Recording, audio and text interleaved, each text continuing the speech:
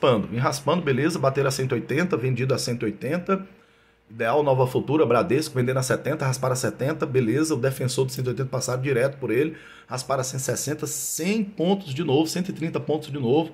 É, essa operação se concretizando e vamos para 1.800 pontos, vamos ver se cai, se perde esse gradiente, se perde o 100, busca o 100, né? A operação para scalp já deu 135 pontos, tem esse bloco de liquidez aqui para baixo, vai abrir o mercado, pode subir, ele pode armar para baixo para dar aquele tiro para cima, que Bradesco Ideal e BS já estão se posicionando comprados, já são comprados, né? Pode estar tá vindo aqui só para acumular. Você vê que a trend aqui, o comprador já segura essa região. Vamos ver se vem buscar o 100, Vamos ver se vem buscar o 100. O cara do 100 aqui é uma escória. Vamos ver passa direto por ele. Ele fica renovando o lote aqui. Bateu na linha central do gradiente. Estrangeiros são levemente comprados no índice pela planilha quântica e vendido no dólar. Agora, ela vai começar a se calibrar. DIs estão para cima. É, e dólar para cima e índice para baixo. Vamos ver se vem tirar o cara do 100 já vem raspar aqui ao fundo, né? Lembra que é o fundo, bateu e subiu. Beleza, 10 e 1.